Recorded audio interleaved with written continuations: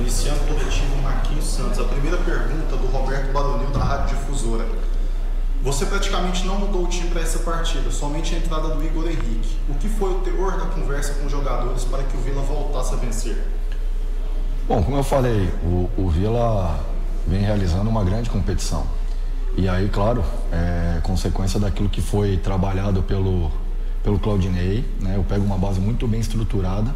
Então a gente vai colocando alguns ajustes, algumas situações do meu modelo de jogo, daquilo que eu gosto é, como futebol, é normal, natural cada treinador ter a sua visão, mas quero é, enaltecer o trabalho do Claudinei.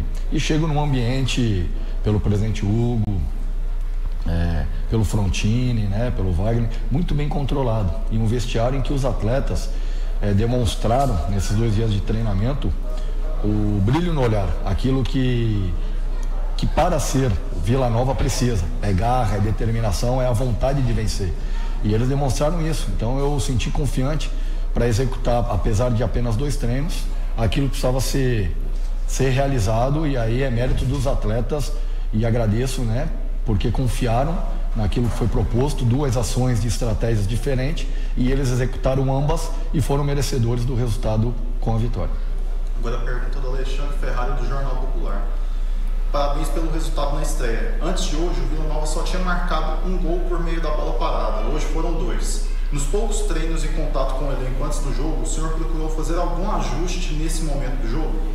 Nós trabalhamos ontem, né, é, incansavelmente, fizemos um treino exaustivo de bola parada, algumas ações pré-determinadas já, executadas inclusive na questão do segundo gol, nós trabalhamos a movimentação, trabalhamos é, a questão de, de, distribuição dentro da área e fomos é, premiados né, pelo, pelo trabalho realizado, mas mérito é, não só da batida, mas os atletas, o Igor, que foi muito feliz na entrada, do, do, em atacar a bola. Então, acho que os atletas estão de parabéns por aquilo que, que realizou nesses dois trabalhos, nesses dois treinamentos e colheram o fruto do trabalho.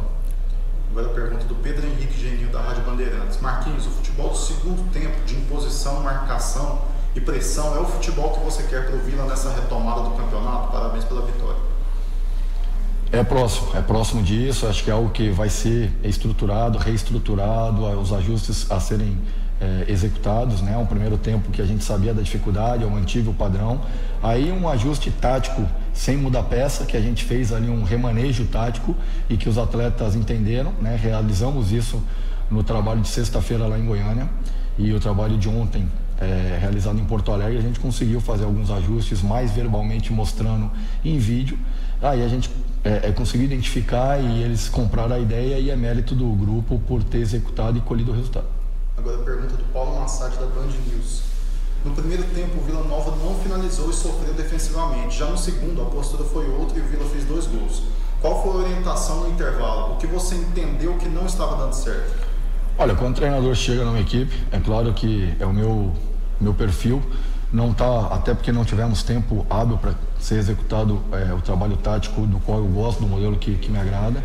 Mas eu dei continuidade porque eu sei que é um caminho a ser seguido, que eu confio e quando fui, o Frontino me ligou de madrugada, eu sabia que, que poderíamos fazer algo bacana e já começamos, né, um primeiro passo. E nesse momento eu entendi é, que era para permanecer dentro do modelo e fiz um ajuste no, no vestiário de posicionamento para que pudéssemos voltar melhor, mais encaixado e dando menos espaço ao adversário e promovendo né, uma melhor qualidade de jogo. Agora a pergunta do José Roberto Silva da Rádio CBN. Os gols saíram de bola parada. Teve tempo para treinar essas duas jogadas? Teve. Fizemos, como eu falei anteriormente, exaustiva, exaustivamente um treino de bola parada ontem. Né? E aí eu agradeço aos atletas por mais do desgaste que se tem em função da viagem longa, em função é, de toda a dificuldade né, da sequência de jogos, mas os atletas entenderam, treinaram num, num ritmo forte, numa intensidade alta e a bola parada no treino de ontem foi fundamental para que colhesse resultado no jogo de hoje. Agora, a penúltima pergunta do Igor Ferreira, do Mais Esporte. No jogo de hoje, você retornou o esquema com quatro atacantes no Vila Nova, sendo dois centroavantes, que o que vinha dando certo. Você já havia utilizado esse esquema antes e pretende manter essa formação? Já utilizei, inclusive no jogo é, que levou o América a Libertadores, né? Não utilizei dois atacantes de área, eu utilizei três. Para quem recordar um pouquinho, no jogo lá no Paraguai contra o Guarani, nós estávamos perdendo o jogo por 2 a 0, havíamos perdido em casa por 1 a 0 e na somatória 3 a 0 para o Guarani. Mas havia treinado durante a preparação essa situação. Eu jamais vou é, é, cobrar os meus atletas daquilo que não é trabalhado e não farei aquilo que não for treinado. Então nós treinamos a situação e fomos premiados com, com a vitória, virada por 3 a 2 e nos pênaltis colocamos o América na Libertadores.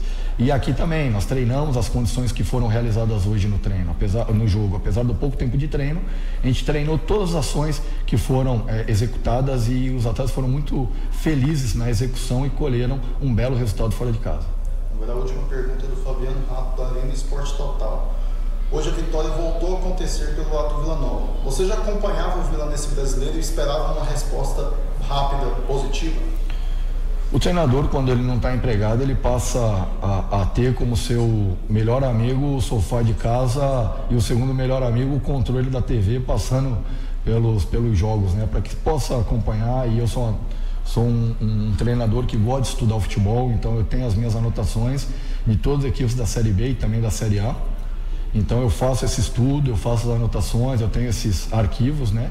E sabia, é, como eu falei anteriormente, quando o Frontino me ligou, né, quando o presidente Hugo me ligou, quando eles me ligaram eu sabia que nós podemos sim realizar um trabalho de excelência um passo de cada vez, ainda é, é, é, um início de retorno, tem muita coisa a acontecer, é ter os pés no chão, ter equilíbrio. Agora, precisamos do nosso torcedor presente conosco, né? Acho que chegou a hora é, de manter essa sinergia do torcedor, independente de qualquer coisa, é, apoiar a nossa equipe, apoiar os atletas, apoiar essa direção, comparecer no OBA, vamos, vamos fazer, continuar ferver ainda mais o caldeirão. Vamos fazer o OBA a nossa fortaleza, não vamos poder perder ponto lá e precisamos do torcedor como décimo segundo jogador. Então essa sinergia, vamos, vamos transformar isso em positividade. Em circunstância de qualquer resultado, acho que é, seja ele vitória, empate ou derrota, deixa para se manifestar né, do lado positivo ao final de uma partida.